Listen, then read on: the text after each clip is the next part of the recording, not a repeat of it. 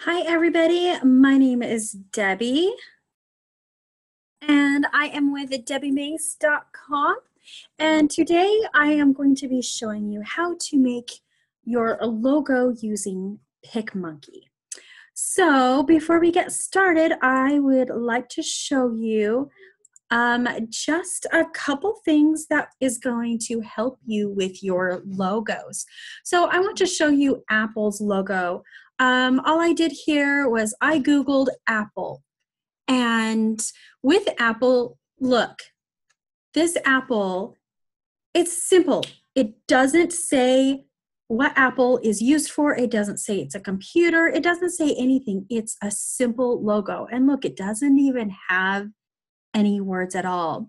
So, one thing you need to remember with logos is it needs to be timeless. So, look, they just upgraded their design a little bit.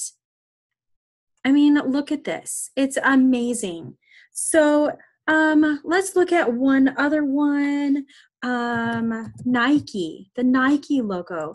You guys, it doesn't say that it's a shoe. Look at this we all know what Nike is, but it's a timeless. It's it's memorable. It's simple. So those are things you need to remember when you are doing a logo.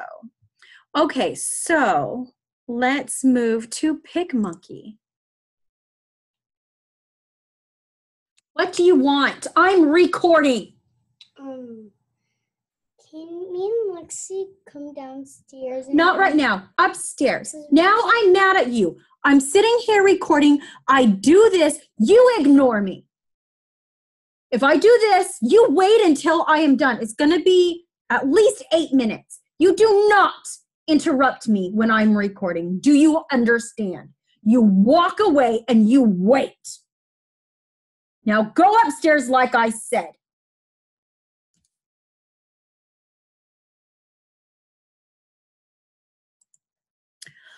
Okay, so I'm on PicMonkey. Now, PicMonkey, um, we're in September of 2017.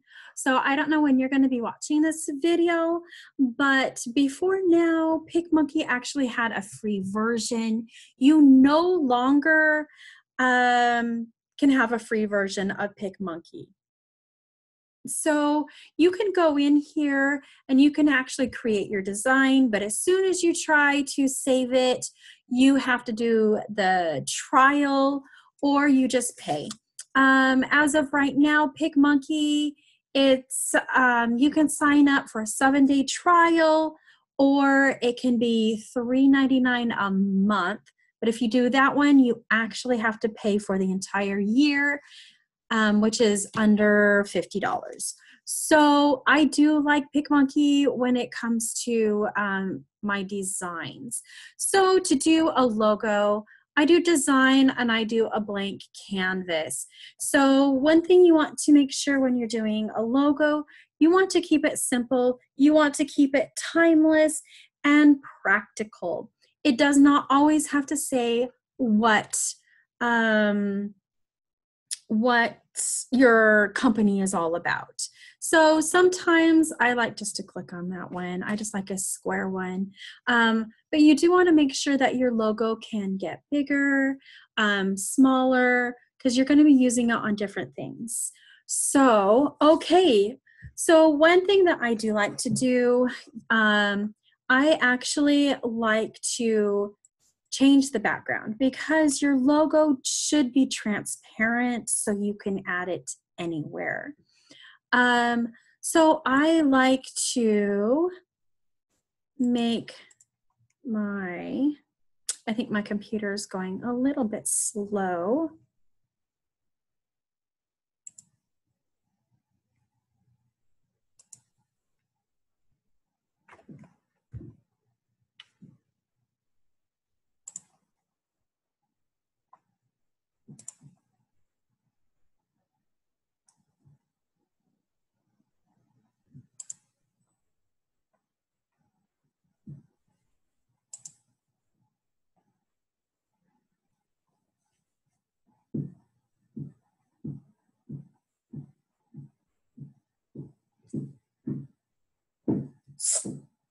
The banging!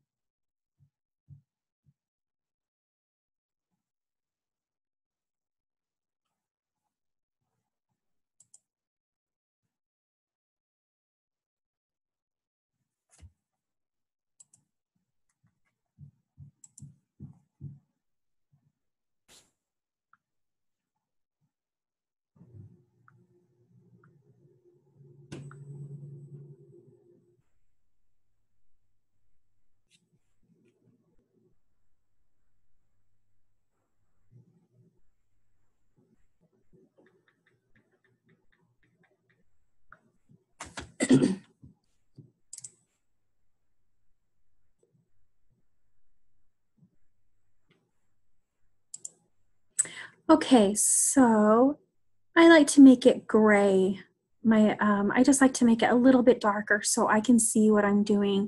So sometimes when you're doing this, you might want to use um, white text, which if it's on a white background, it's really hard to see.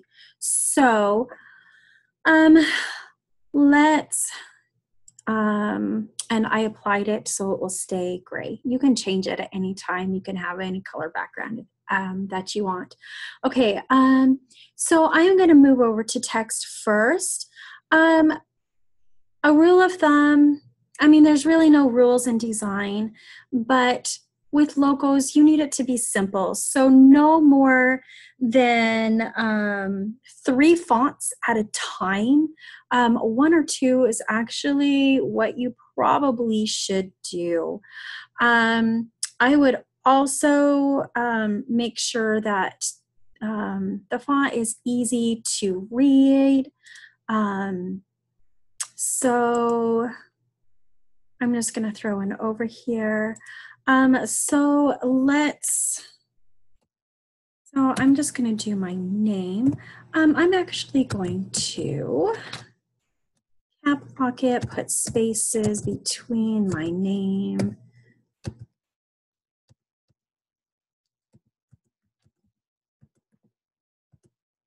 Okay, so one thing you can do is to make sure that it is in the middle, you push it all the way to the sides so it is centered. And over here, you push the center. Now it will stay centered. Um, so now you can, um, if you want some type of design, um, you can find an overlay that, that you like. Um, a lot of people like to do a type of line, squiggly. Um, with PicMonkey, look at all the different things you can do. Now remember, you want it timeless, you want it um, memorable. So here we go. Um, I'm not sure I like that. Let's see if I like that or not. Um, um, what I'm doing right here, I want to bring my name forward. So I right clicked and bring forward. I do not like that. So guess what? I'm just gonna click delete. Yeah, you know, you guys have fun with this. Um, find things that you like there are tons of things here. Um, let's actually say that this is for a music logo. Um, I do love music, so hey, why not? Um, let's make that a little gray. Um, no, we don't want it to go to the side. So let's put it in the center. I'm going to bring it forward. Um, let's actually see if making my name white.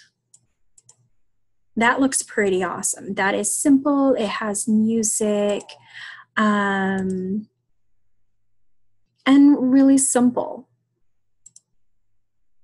So maybe, what do you think about maybe adding my website is Debbie Mace Online, so maybe I actually want to put on a line. Oops, I saw my caps on. So let's do online. Um, let's do a second font. And I'll put it over there. So sometimes it's actually good to have um, two different color fonts or one different color font. Um, if I wanted, I could actually put Debbie in black um, and have online in black. Um, I'm just trying to show you guys different things that you can do with your logos. Um, I'm doing it in live so you can see all the little different things that you can do. Um, I do not like the look of that, but some of you might like the look of that. Um, I actually really liked the white. So I just move this up to white. Um, let's move that to white. Okay, so I do like that. It's a very simple, um, memorable. Um, if this was a, um, let's say I sold makeup. Um, let's find something to do with makeup.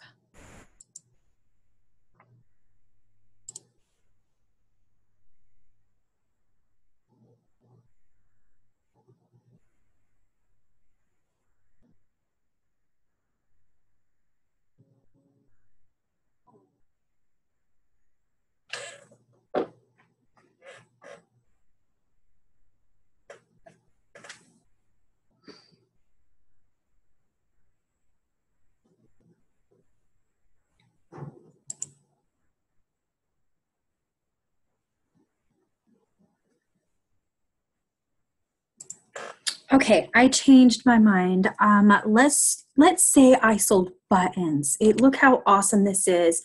I found it over in the overlays, and then I just scrolled down and I found buttons. So let's get rid of the music here. All right, I just clicked on it, press delete. So let's say I sold buttons. So we seriously, we could put like little buttons down here. Look how cool this is. And you guys have fun with this, seriously. And when you're done creating your logo, the best thing to do is to actually go and ask your friends what they think is it something that they're going to remember? Is it something um, that they like? So, what about that, you guys? That's pretty cool. So, that's another thing you can do. Um, let me show you something else. I'm just trying to give you guys some good ideas.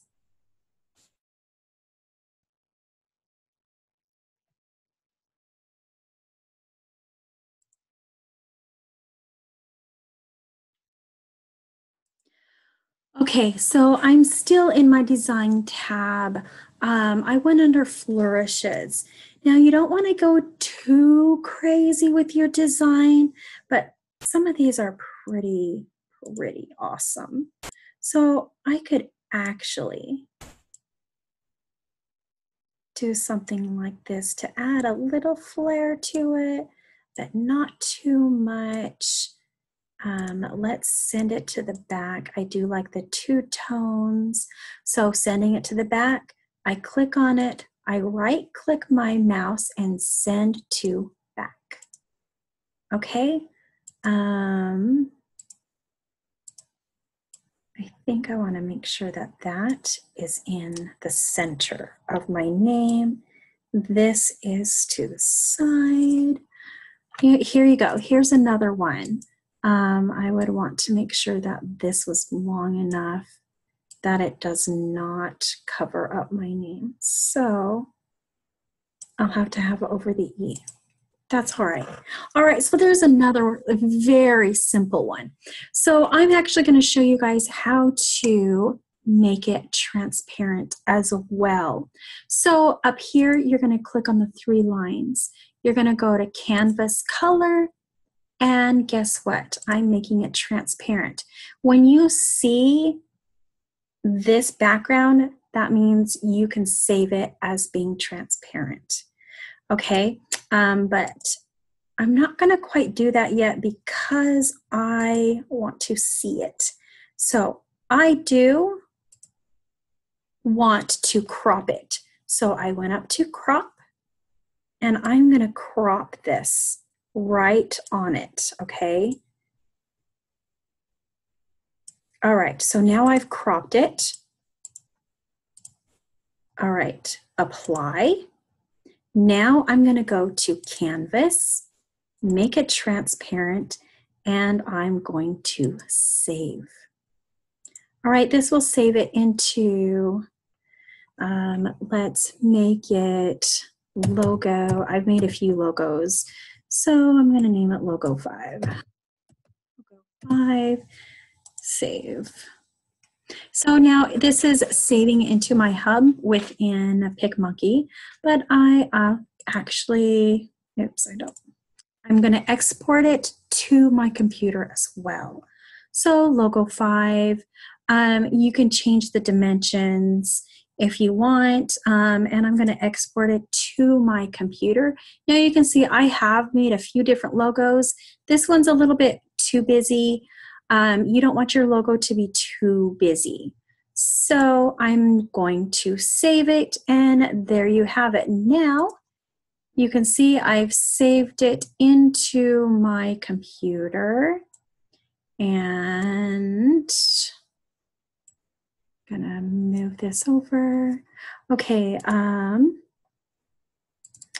I've saved it right there. So there's my logo number five. And that is how you can create a logo. So, you guys, you can um, head over to my YouTube channel, um, Debbie Mace, um, and to get more how to videos, head over to my website at debbiemace.com. And I will see you guys on my next how to video.